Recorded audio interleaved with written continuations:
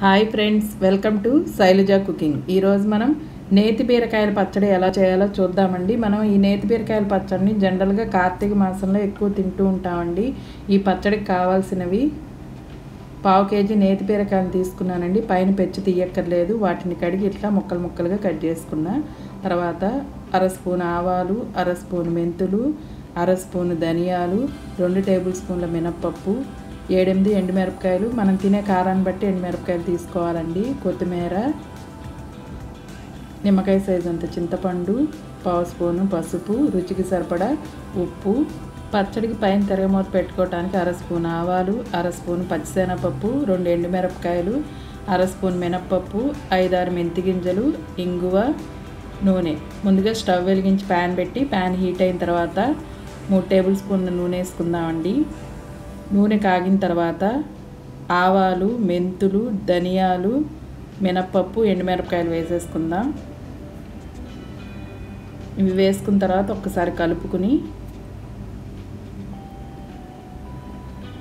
చిటికడు ఇంగు కూడా వేసుకుందామండి. ఇప్పుడు వీటిని అన్నిటినీ వేయించేసుకుందాం.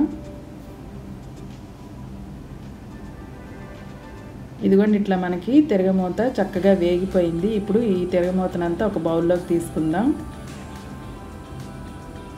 అదే ప్యాన్లో మూడు స్పూన్ల నూనె వేసుకుని ముందుగా మనం కట్ చేసి పెట్టుకున్న నేతి బీరకాయ ముక్కలు కూడా వేసేసుకుందామండి.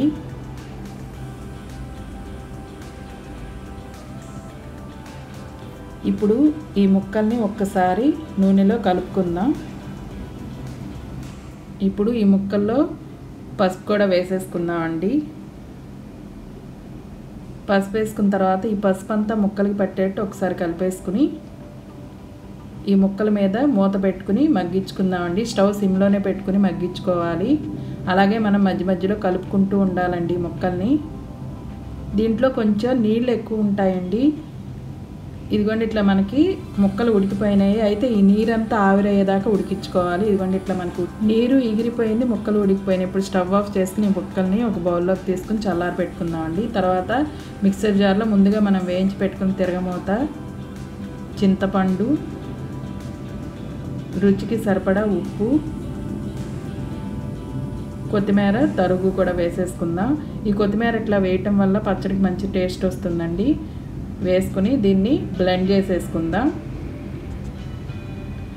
ఇప్పుడు ముందుగా మనం ఉడికించి పెట్టుకుని నేతి బీరకాయ ముక్కలు కూడా వేసేసుకుందామండి వేసుకుని దీన్ని కోర్స్గా బ్లెండ్ చేసుకుందామండి pulse button on and off చేస్తే మనకి కోర్స్గా ఈ పచ్చడి బ్లెండ్ అయిపోతుంది. ఇదిగోండి ఇట్లా మనకి నేతి బీరకాయ పచ్చడి రెడీ అయిపోయింది.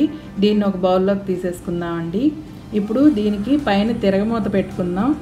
ఇప్పుడు స్టవ్ వెలిగించి ప్యాన్ పెట్టి ప్యాన్ హీట్ అయిన తర్వాత రెండు టేబుల్ స్పూన్ల నూనె వేసుకుని మినప్పప్పు పచ్చిశనగపప్పు ఆవాలు మెంతి గింజలు రెండు ఎండుమిరపకాయలు ఇంగువ వేసుకుని ఈ తిరగమూతను వేయించేసుకుందామండి ఇట్లా పైన తిరగమూత పెట్టుకోవటం వల్ల పచ్చడికి మంచి టేస్ట్ వస్తుందండి.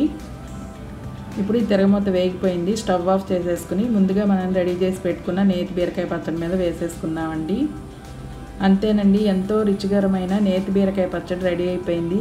మీకు నచ్చితే లేటెస్ట్ వీడియోస్ కోసం శైలజ కుకింగ్ని సబ్స్క్రైబ్ చేసుకోండి.